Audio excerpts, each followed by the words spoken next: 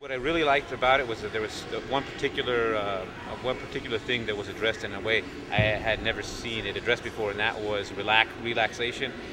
It's I don't think I've ever heard anybody um, not use uh, uh, the command of relax, relax. You know, loosen up. You know, you need uh, in order to do this or that or the other thing. This Alvin's the first one who's who's actually uh, used visualization as a form of, uh, of I don't know if it's relaxation, but uh, the commands do not work when it comes to relaxation.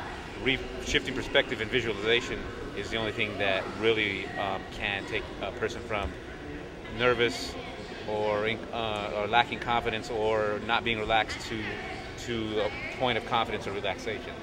So that's the first thing I remember. Uh, that's the, that's the first thing I'm always going to remember from this. Physically, the, you know, I got some gymnastics sort of practice that I haven't done in, in forever. So so that was fun and got my blood flowing.